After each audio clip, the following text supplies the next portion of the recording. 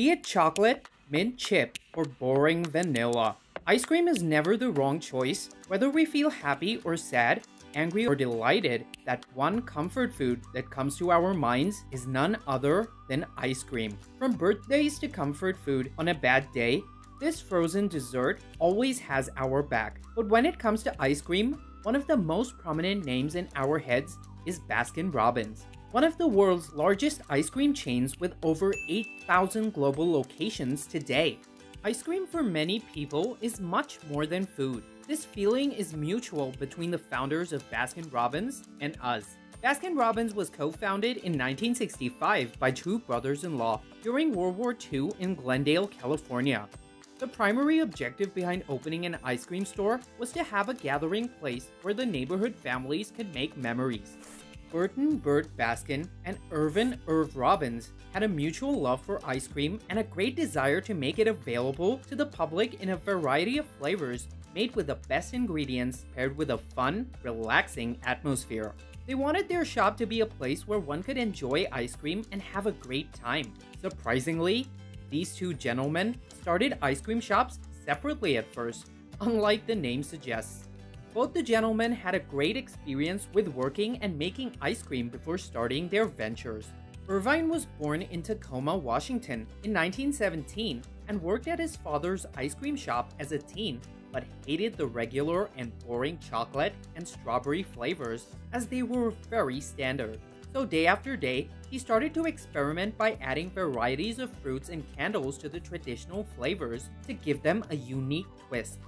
While he spent hours there, he started to realize that people came to his dad's shop to have ice cream and a break from the hustle bustle of the city, and this mindset stuck as it was provided in his own shops. He even started to name them and tried selling them at the local vendor's shop, but the owner would remove his signs and labels from the product, making him earn quite a shiny penny. Soon, the World War II broke out and his dream took a setback. Burton was born in Chicago, Illinois in 1913 and had a hand in making ice creams for his fellow US Navy troops while serving in World War II in the South Pacific. At that time, Burton had luckily obtained a freezer from an aircraft carrier supply officer. He began making one of the most marvelous flavors of ice cream for his colleagues using his own mind and the fruits available in the tropical islands they were located in. Soon after this, there came a meetup that lasted a lifetime. When Burton met Shirley Robbins, who happened to be Irvine's sister, they both fell in love and got married. Later, they both settled in Pasadena, California, where Burton opened Burton's ice cream shop and started to cherish his entrepreneurial success. In 1945, after getting discharged from the army, Irvine opened Snowbird Ice Cream in Glendale, California to support his family. It featured 21 flavors emphasizing high-quality ice cream being sold in a personalized environment. As the World War came to an end, Irvine was on his way to open his fourth store.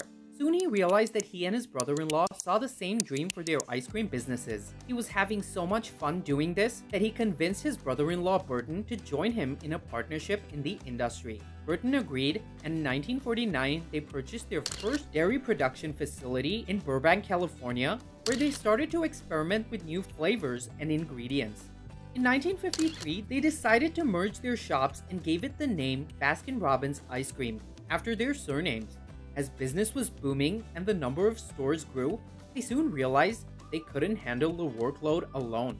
And so they decided to hire a manager who had an ownership interest in its overall operation, which unknowingly gave rise to a concept that had never been used in the ice cream industry before franchising, which is still used today. Not everyone likes all our flavors, but each flavor is someone's favorite, in the 1960s, their brand came out with a unique concept to sell their ice creams that are still used today worldwide. They started to offer a different flavor for each day of the month, that is 31 flavors. Today, Baskin & Robbins have over 1,300 flavors in their flavor library.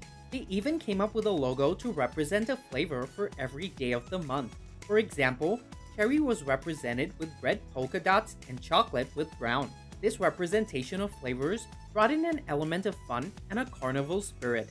They even represented each flavor with a cartoon character representing the ingredients in that ice cream.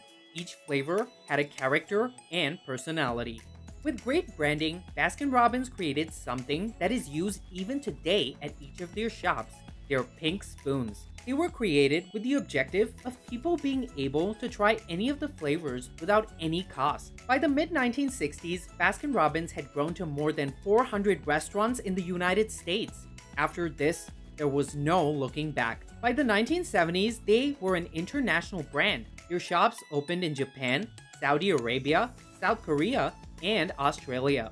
At this time, Irvine and his wife Irma created something in their kitchen, which is an iconic flavor until today is an international bestseller. It's none other than pralines and cream.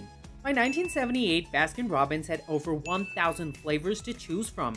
From originals to unique new ones, they had it all. They were also a leader in the innovations field of the ice cream world, and did not shy away from trying and making new flavors, cakes, and so much more.